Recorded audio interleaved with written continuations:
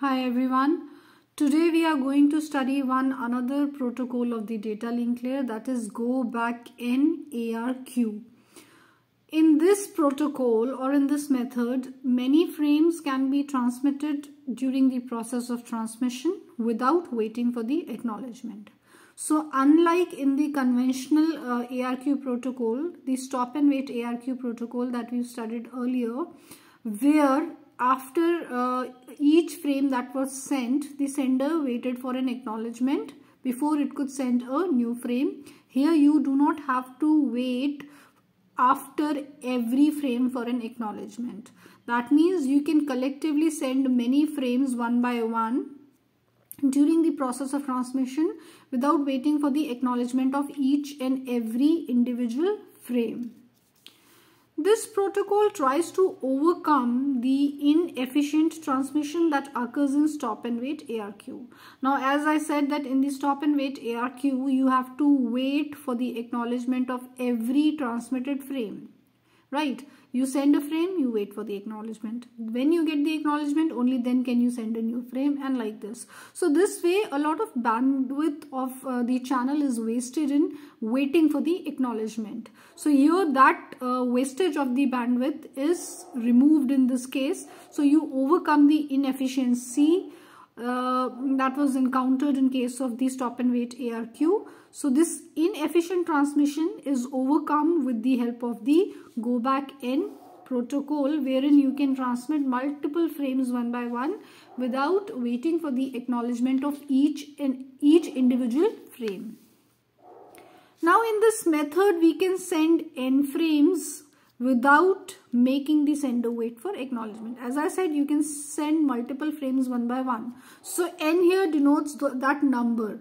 That n could be any such number like 3 frames, 4 frames, 5 frames, 6 frames. So all together one by one you can send uh, many frames which denotes the which is denoted by this n. So n basically means 4 frames or 5 frames or 6 frames which can be sent one by one consecutively without waiting for the acknowledgement of every frame that has been sent.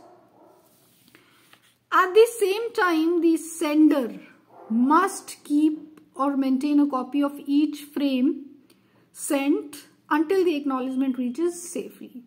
Though the sender is sending multiple frames one by one, without waiting for the acknowledgement of each individual frame separately, but still the sender keeps a copy of all the frames that have been sent to be on the safe side. So that just in case it does not receive the acknowledgement of any frame it can resend those frames. So to be on the safe side it maintains a copy of all the sent frames so that when required it can retransmit those frames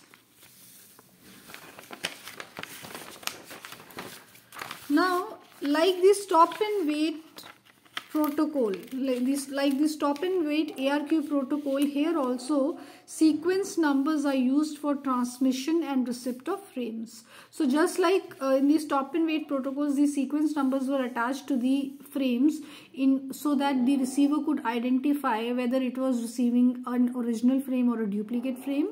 Here also sequence numbers are uh, used for the transmission and receipt of the frame. So sequence numbers basically are unique numbers which are assigned to every frame. Each frame has a different sequence number and if two frames have the same sequence number the receiver can know that this is a duplicate frame because no different frames can have the same sequence number each will have a sequence number that, that will be added with the frame. So the sequence number will be added to the header of the frame before that frame is transmitted. If the frame can have k bit sequence number, then the numbers will range between 0 to 2 to the power k minus 1.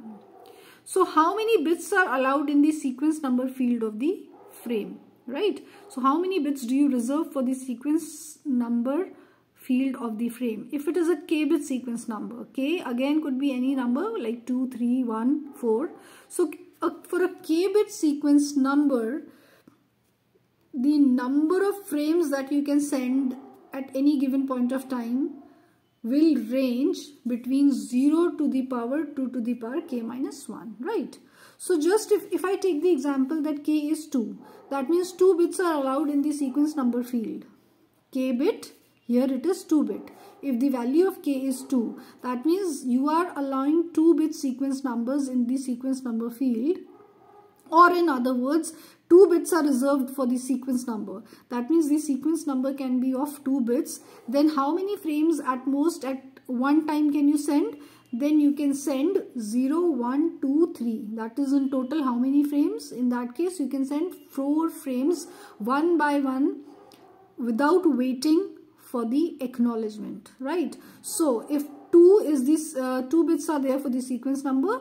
So the number of frames that you can send together uh, the number of uh, frames that you can send consecutively one by one without waiting for the acknowledgement will range between 0 to, to, um, to the power 2 to the power k minus 1 so 2 to the power k minus 1 if 2 bits are for the sequence number that means 2 to the power 2 minus 1 which gives you 4 minus 1 which is equal to 3 that means the frames number of frames that you can send will be will range from 0 to 3 so 0, 1, 2, 3. So that means how many frames? 1, 2, 3, 4. So when uh, you can send 4 frames without waiting for the acknowledgement when 2 bits are allowed in the sequence number field of the frames.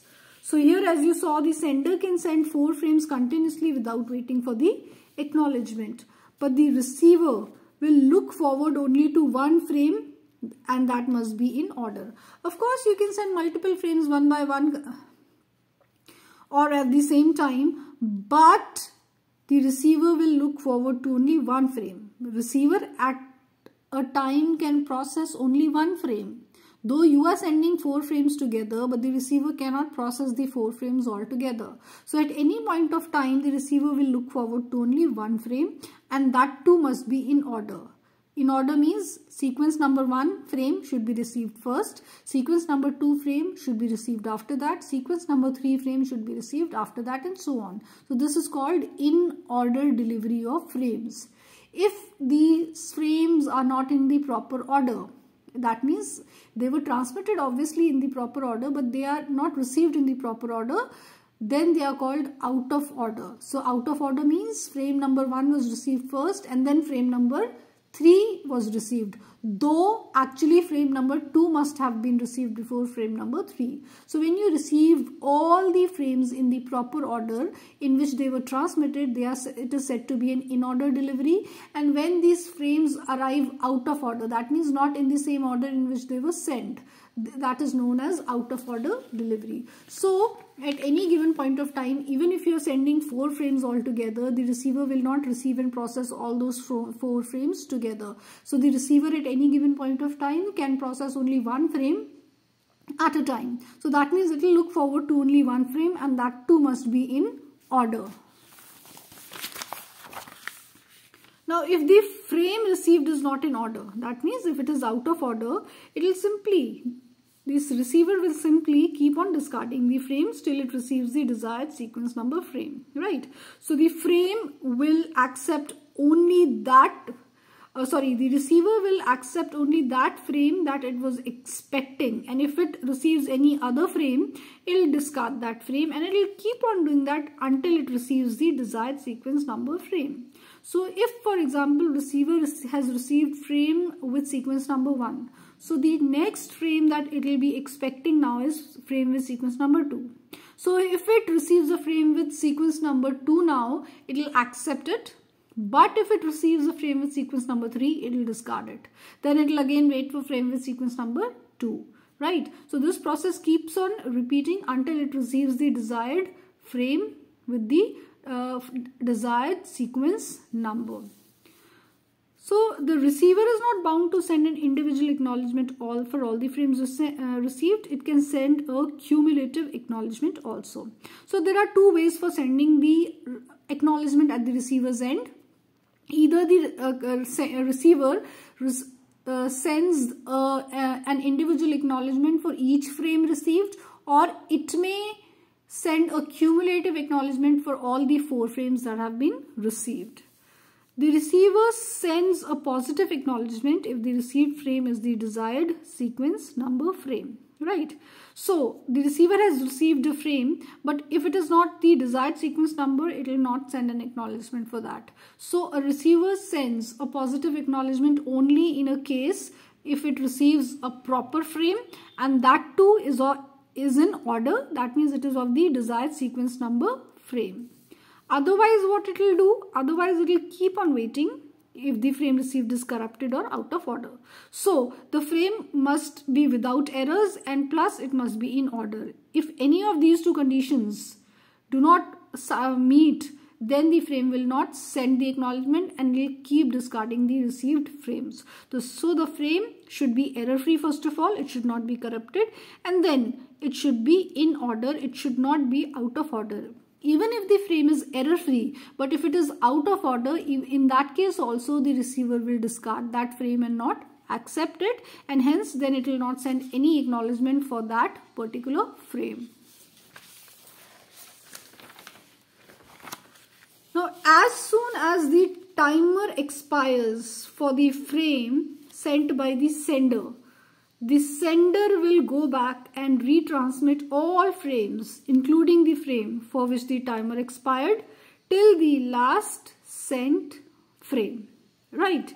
So, obviously the acknowledgement is sent in this case also, but not individually, collectively or after a certain period of time. So, say for example, four frames have been sent and after that an acknowledgement is received for the three frames. Say the acknowledgement has been received for frame number 1, 2 and 4 but the acknowledgement uh, never came for frame number 3. So in that case the sender will repeat the transmission of all those four frames all over again. That will it will that is it will start from frame number one till the last sent frame. Now the last sent frame here in this case was four. So it will uh, uh, start the retransmission of the frames from frame number one to frame number four all over again even though the acknowledgements of frame number one two and four were received. The acknowledgement for which frame was not received for only frame number three so ideally the frame number 3 must have been retransmitted but it retransmits all those four frames all over again. So this is how uh, this is the working principle of the go back N ARQ protocol. That means the sender will go back from till uh, go back and then retransmit all frames. So that is why it is known as go back N ARQ. N ARQ. So if N is 4, that means the 4 frames have been sent and from among those four frames even if the acknowledgement for one frame has not come then all the four frames all those n frames will be retransmitted hence the name go back n arq so even if the timer for any one frame has expired all those four frames will be retransmitted all over again. That is why it is named as the go back n arq you go back and retransmit those n frames all over again now, if the error rate is high, then this leads to a lot of wastage of bandwidth. You are unnecessarily retransmitting all those frames which were for which the acknowledgement was received. So there's no point retransmitting those frames all over again. What you're doing in that case, you're wasting the bandwidth because in that uh, you could have transmitted using that bandwidth some new frames, but you are retransmitting those frames also which have for which the acknowledgement have been received. So sender will retransmit all the frames from the frame in which error appears till the last sent frame, right? The frame in which error had appeared from that particular frame to the last sent frame, all the frames will be sent all over again. So this is clearly a wastage of the bandwidth.